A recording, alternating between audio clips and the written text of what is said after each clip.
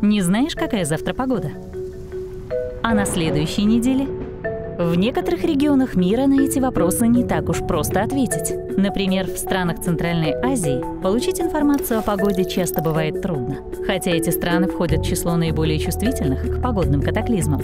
Это осложняет жизнь в регионе, где живет 70 миллионов человек. Тем, кто работает в сельском хозяйстве, очень важно знать, когда приближается дождь, когда урожаю угрожает сильная жара или мороз, или когда надвигается буря.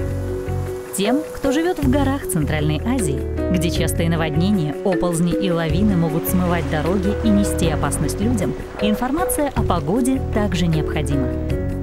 Изменение климата – существенный источник неопределенности. Из-за него сложнее предсказывать такие погодные явления. Например, к 2050 году почти треть всех ледников Центральной Азии может растаять, и в результате значительно возрастет опасность внезапных наводнений из ледниковых озер. Улучшение информации о погоде, например, прогнозов и многолетних климатических данных, поможет региону адаптироваться к любой погоде при помощи более совершенного оборудования для прогнозирования погоды, климата и состояния водных ресурсов, улучшения работы спасательных служб и транспорта и многого другого. Вот почему Всемирный банк в последние годы вкладывает средства в совершенствование оборудования для метеорологических прогнозов и сбора данных.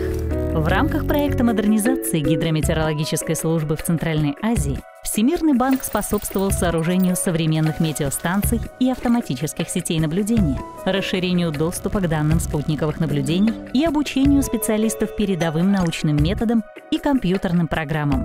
Проект уже помог повысить точность прогнозов Центральной Азии на 30%, что позволит повысить урожайность сельского хозяйства, улучшит работу гидроэлектростанций и сделает безопаснее жизнь людей.